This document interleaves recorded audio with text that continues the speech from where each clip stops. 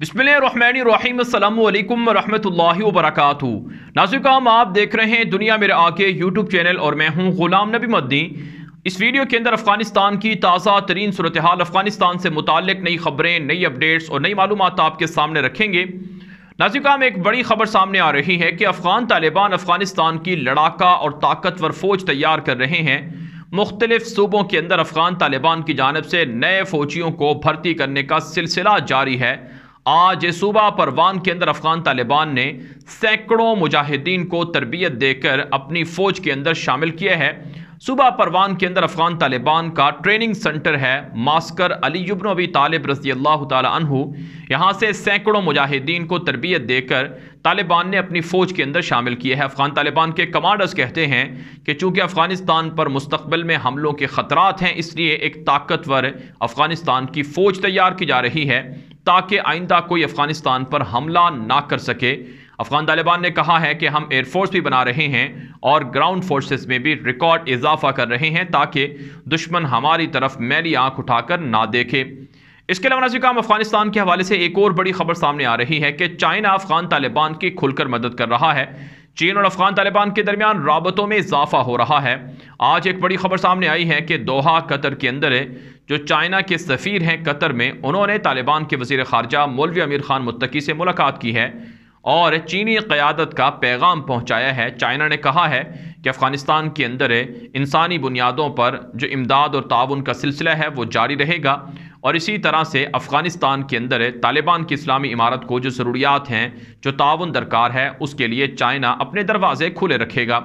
दूसरी तरफ़ से नासिक काम, अफ़गान तालिबान के वज़ीर खारजा मौलवी अमीर खान मुत्तकी ने बयान दिया है कि अगर यूरोप ने अमरीका ने हमारे ख़िलाफ़ लगी पाबंदियों को ना उठाया तो फिर अफ़गानिस्तान के अंदर महाजरीन का एक बड़ा मसला पैदा होगा और अफ़गान तालिबान फिर अपनी सरहदें खोलेंगे और यूरोप और दीगर जगहों पर अपने महाजरीन को जाने का कहेंगे। चाहे उनके लिए कोई मुश्किल ही हों, क्योंकि जब अफ़गानिस्तान पर पाबंदियाँ लगी होंगी तो ज़ाहिर सी बात अफ़गानिस्तान के अंदर मुआशी बहरान होगा क्राइसिस होंगे, लोग बेरोज़गार होंगे, लोगों को मुकम्मल तौर से मसाइल उनके हल नहीं होंगे तो वह मुख्तलिफ़ मुल्कों में हिजरत करेंगे, अपनी खुराक के लिए, अपने रोज़गार के लिए। तो इससे दुनिया के अंदर एक बड़ा रेफ्यूजी का मसला दरपेश होगा, जिस तरह से शाम के अंदर दरपेश है। लिहाजा यूरोप और अमरीका हमारे ख़िलाफ़ लगी पाबंदियाँ दूर करे और हमें तंग ना करे और हमारे माशी मसाइल को हल करे और हमारे मुल्क के असासे बहाल करे और हमें बैंकिंग सेक्टर्स के अंदर काम करने और तजारती सरगर्मियाँ रखने की इजाज़त दी जाए। नाजिक काम इसी तरह की धमकी तुर्की के सदर तैयब बुर्दगान भी यूरोप को कई बार दे चुके हैं। कि अगर उन्होंने तुर्की के ख़िलाफ़ लगी पाबंदियाँ ख़त्म ना की, शाम के अंदर मुसलमानों पर हमले बंद ना किए तो फिर तुर्की महाजरीन के लिए दरवाज़े खोल देगा जो यूरोप जा सकते हैं। यूरोप इससे बहुत डरता है कि मुसलमान अगर उनके मुल्कों के अंदर आएँगे तो उनका मुल्क एक तरह से इस्लामी हो जाएगा, मुसलमान हो जाएँगे यहाँ पर ज़्यादा तादाद में तो फिर उनकी जो सलीबी रियासतें हैं वो ख़तरे में पड़ जाएँगी। नासिकाम अफ़गानिस्तान के हवाले से एक और बड़ी खबर सामने आ रही है कि अफ़गानिस्तान के अंदर दीनी तालीमत के हसूल में रिकॉर्ड इजाफा देखने में आ रहा है। अब अफ़गानिस्तान के अंदर इस्लामी इमारत के बहाल होने के बाद लड़कियाँ तालिबात बच्चियाँ और बच्चे और लड़के सब दीनी मदारस की तरफ़ रुझान कर रहे हैं और दीनी तालीम के हसूल में उनका शौक़ पहले भी था, लेकिन अब उनको आज़ादी मिली है और अब एलानिया वो अपनी तालीम जारी रख सकते हैं। इस हवाले से काफ़ी अच्छे नतज सामने आ रहे हैं।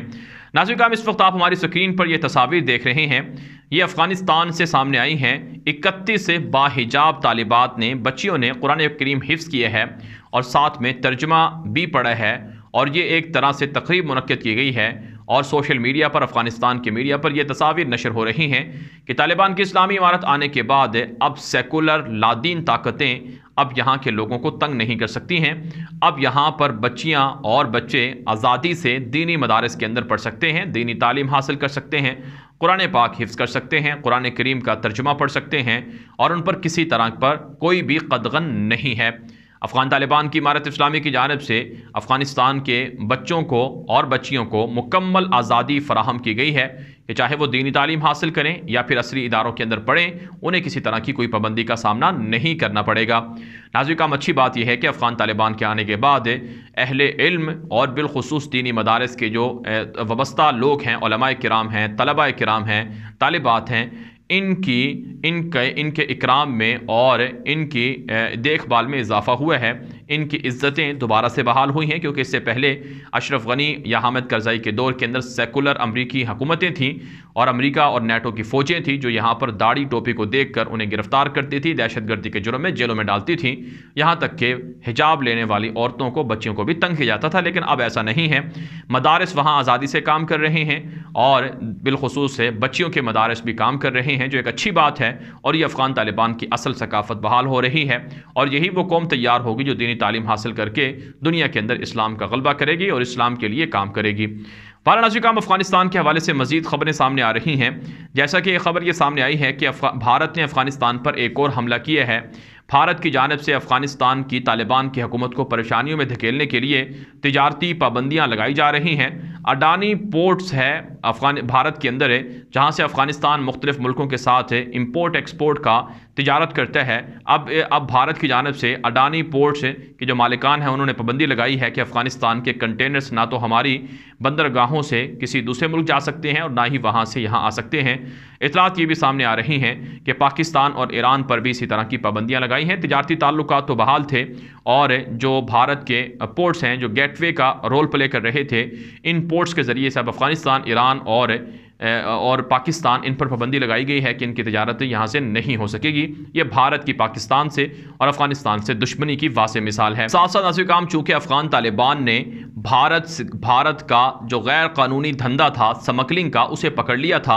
आप जानते हैं, चंद दिन पहले खबर सामने आई थी कि दो अरब सत्तर करोड़ डॉलर की मंशियात अफ़गानिस्तान से भारत समगल होने और फिर भारत से यूरोप समगल होने की कोशिश तालिबान ने नाकाम बना दी थी और इसका भांडा तालिबान ने फोड़ दिया था।